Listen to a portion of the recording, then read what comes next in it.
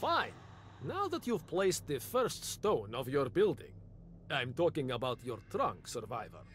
We'll move on to the next step in the program.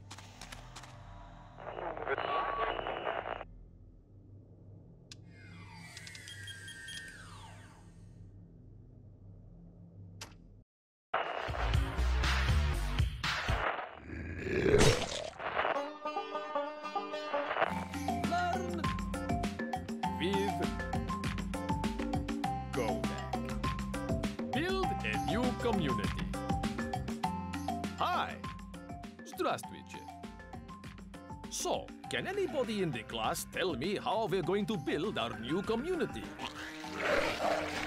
Anybody?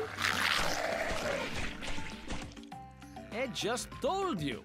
Right, watch the board and I'll explain for the eighth time. So listen up. Слушайте внимательно.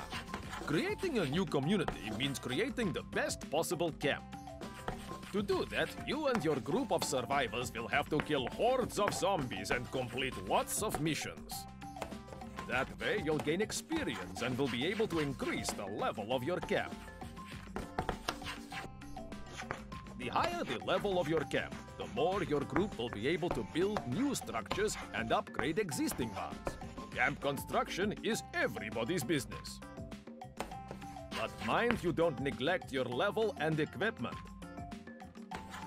The surroundings will become more and more hostile, and you'll have to be tougher and tougher and better and better equipped to survive.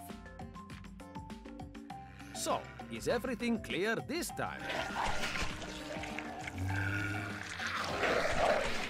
Look at the board. I'll explain it a ninth time. Listen up. Слушайте внимательно.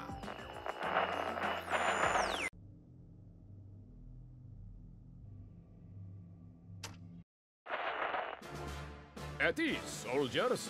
I'm sure the most experienced survivors can remember that I created a survival guide. It's brimming with tips on how to survive among zombies. Remember? The less you eat, the less stamina you have. So you won't have the strength to fight the zombies. So remember to eat. Thirst causes dizziness and headaches. It becomes hard to concentrate and make critical hits. So remember to drink. My time, we knew how to fight barehanded, and we were ready to drink urine to survive. Today's young people are always walking around with a bunch of useless items in their backpacks. So here's a third tip. If you're overloaded, you run slower and slower and can't get over obstacles. So check your backpack.